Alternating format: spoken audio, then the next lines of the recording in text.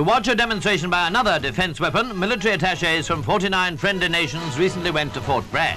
The gun they saw in action is a modern version of what Americans called Long Tom in World War II. Hitting power and accuracy are the keynotes.